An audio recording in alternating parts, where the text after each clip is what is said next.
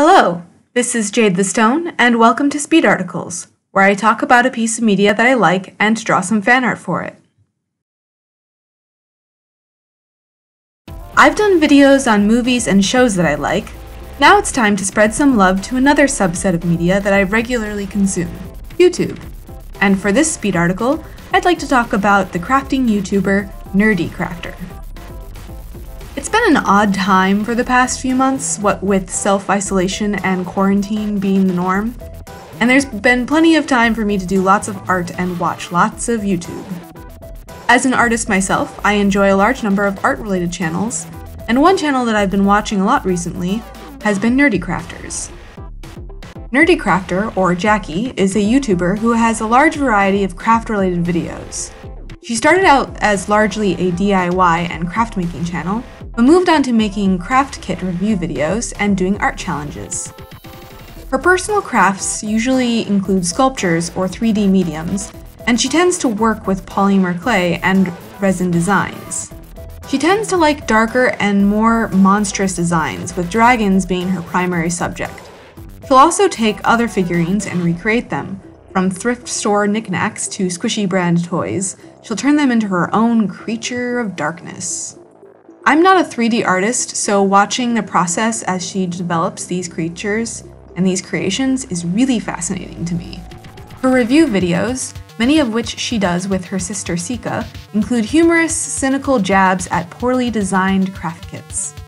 For her lengthier, more in depth reviews, where she lists the pros and cons of a kit, she'll always start with the cons because she likes to start with the salt, as she puts it. In her cash or trash videos, She'll try out a number of craft kits and spend her money reviewing them, quote, so you don't have to. Something I like about her reviews is that even though she'll often go into a review with a healthy dose of skepticism, she's not afraid to be proven wrong and will openly display her appreciation and surprise at a good kit. She'll always give credit where credit is due. From an environmental standpoint, I like that she'll point out the presence or lack of environmentally safe products in kits and whether or not there is potential for material to be wasted.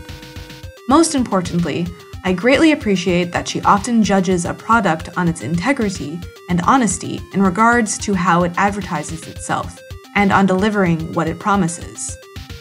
This is a really cool aspect of her personality that shines through in a lot of her content placing importance on honesty.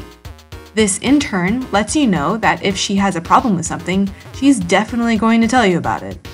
Additionally, her presentation style always feels pretty genuine and true to her character, so her videos feel like less of a performance than some YouTubers. She'll ramble about certain fandoms she's into, or talk about experiences she's had while reviewing a kit or making a piece of art, which add to the simple charm of her videos. There's not a whole lot of flair to her videos, all having a pretty low production value. It's just her being her. And I really like that. She's probably one of the first YouTubers who I kind of relate with as a person, too. We share similar interests, such as Pokemon and Teenage Mutant Ninja Turtles. She's a teacher, like me. She's a writer and an artist, like I am. And she's even been to Japan, like I have. I very rarely see a YouTuber and think, hey, I feel like if we met, we could get along really well. But I kind of feel that way about NerdECrafter. She just seems like a cool person. The final facet of her work that I'd like to highlight is her more community based art content. She does a couple of things that give back to the community that she is a part of. One is that she will take drawings and artwork from her viewers and turn them into sculptures. Some of these pieces are among my favorite of her work, and it's really interesting to see a piece of work go from 2D to 3D. Additionally, she'll also often do giveaways for her watchers. The other is her series of videos of turning YouTubers into monsters. Due to her darker tastes, turning someone into a monster is the highest compliment she could give, and so she'll take a YouTuber whose content she enjoys and sculpt a creature that fits their personality and overall channel aesthetic. So far, I honestly haven't been aware of the YouTubers she has made monsters out of, but I like how she guides the viewer through her process and her reasoning for her design choices, so even I can understand the artistic decisions being made. And the quality of the pieces that she puts out and the amount of effort she puts into making them reflects her appreciation of the YouTuber she's recreating. So for my art today, I'm creating my own monstrous version of NerdECrafter. Because as dark and as salty as NerdECrafter claims to be, the thing I appreciate most about her channel is her level of integrity and giving out love and appreciation to the community that she is a part of. Despite the salty reviews and the bouts of evil laughter and the waving of sharp pointy things at the camera, I find her channel an oddly positive part of my life right now, and it's been really helpful to me in these uncertain times. I'd like to pass that positivity forward by turning NerdECrafter into a creature of darkness of my own, which is the highest compliment that I can give to her.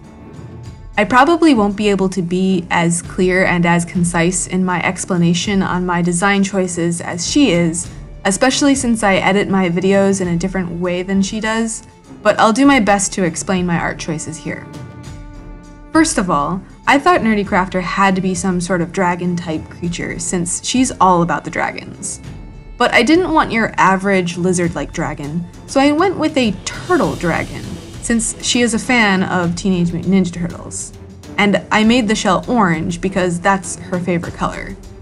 I went with a heavily Bulbasaur inspired design since she is almost always wearing a Bulbasaur hat in her videos.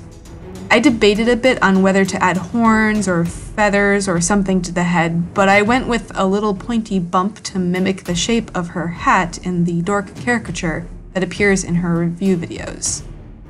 I gave the dragon bird wings instead of your usual bat like wings as an homage to her parrot angel that appears in many of her videos.